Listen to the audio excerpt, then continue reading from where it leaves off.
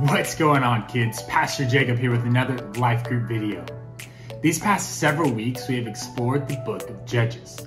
This week, we're switching to the book of Ruth. And the story of Ruth happens at the same time as all the stuff that was happening in the book of Judges. Or sometimes when Judges is going on, the story of Ruth happens. But instead of the doom and gloom and people not listening to Judges, we get to see a story of a family who trusts and obeys God, even in the tough times. We're going to be in Ruth chapter 1 and 2 today. Ruth comes after the book of Judges and before the book of 1 Samuel. So take a minute and find the book of Ruth. During the time of Judges, there was a horrible famine in the land. There was a family who moved to the land of Moab to find food. There was a woman named Naomi and her husband, along with their two sons. Her two sons eventually married two Moabite women. Their names were Ruth and Orpah. After a number of years of living in Moab, Naomi's husband and both of her sons died. That left just Naomi, Ruth, and Orpah. Naomi became so sad. She knew that there was no way for her and her daughter in laws to provide for themselves.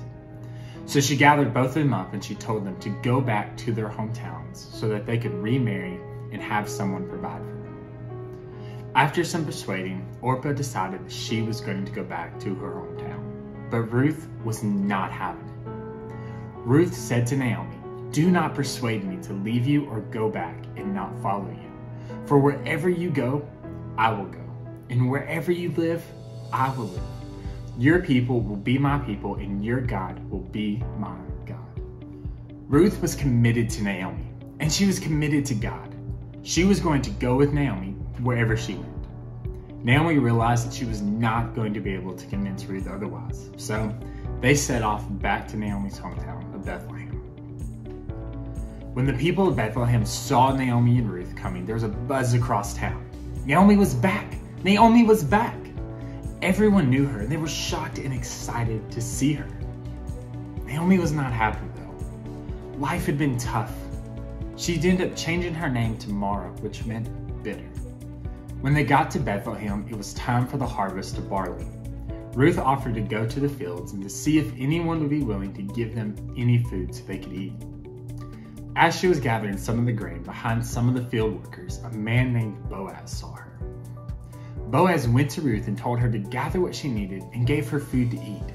He was very kind to her. Ruth was able to take food back to Naomi thanks to Boaz's kindness.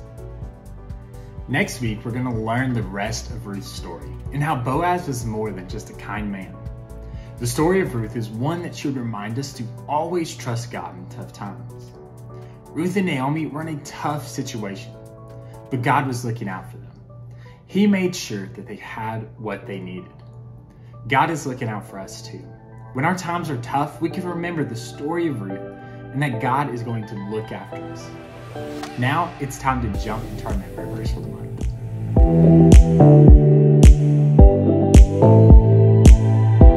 It's memory verse time. We have a new memory verse for the month of May. Our verse is in the book of Ephesians. Ephesians is in the New Testament. It comes after the book of Galatians and before the book of Philippians. We're going to be in chapter 2, verses 8 and 9. Ephesians is a pretty small book, so take your time trying to find it.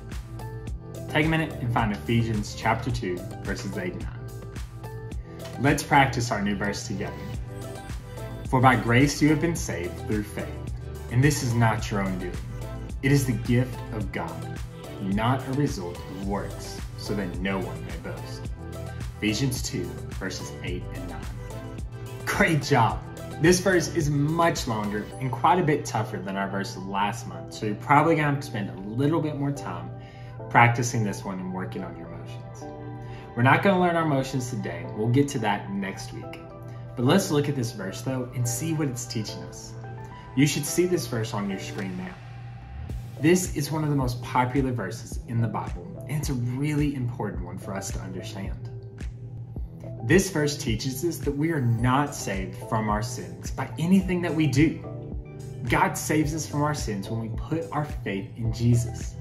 And we trust that Jesus died for our sins in our place. Sometimes people think that they can be good enough to be saved, or sometimes people think that there's no way they could ever be good enough to be saved. These verses in Ephesians teach us that it is not about you and how good you are. We're saved by God's love and grace.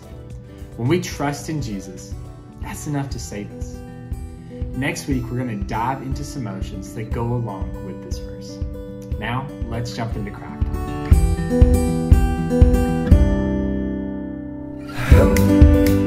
It's craft time. Today, we're going to be using some dried oats, glue, markers, along with this Trust God printout that you can find on the church's website. I need you to take a minute and gather your supplies.